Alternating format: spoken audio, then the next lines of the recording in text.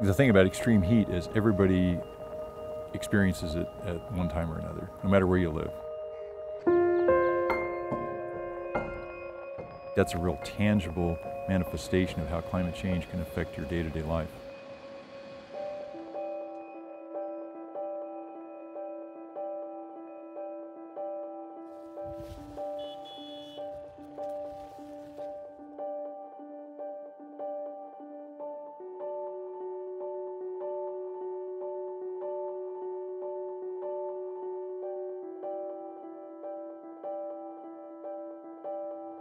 We continue burning more coal, oil, and natural gas, and therefore we're getting more heat-trapping gases in the atmosphere. Humans are a major contributor to uh, what's been happening in terms of the warming of the planet. We're twice as likely to set a record high maximum than a record low minimum. And that's kind of what climate change is. It's kind of shifting the odds towards certain outcomes.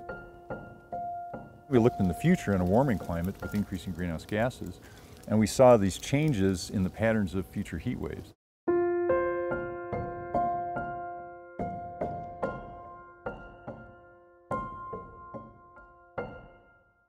The warming has occurred in different areas and different sizes.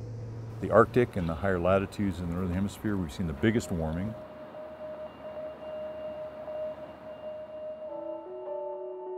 There was a catastrophic heat wave in the Pacific Northwest in June 2021, which climate scientists said would have been impossible without climate change. Portland, Oregon reached upward of 116 degrees Fahrenheit. It's been estimated that there were over 600 excess heat-related deaths in Washington and Oregon alone in one week.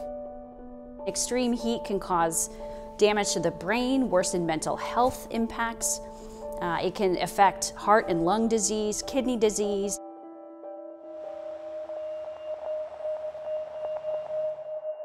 Spoiled food that I need to get rid of. In many areas that are low wealth, those communities may not have trees, those communities may have older buildings, so they may not have air conditioning. And those communities may have a lot of concrete, a lot of asphalt. One tree can bring the temperature down 20 to 25 degrees. So you can see a 20 to 25 degree difference between one tree in front of one house compared to the next house that didn't have a tree.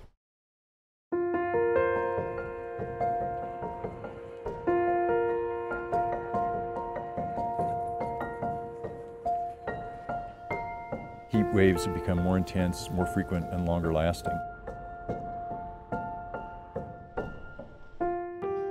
Those kinds of changes are ones that we uh, kind of expected to happen, and they have happened, and they're going to continue to get worse as we go forward.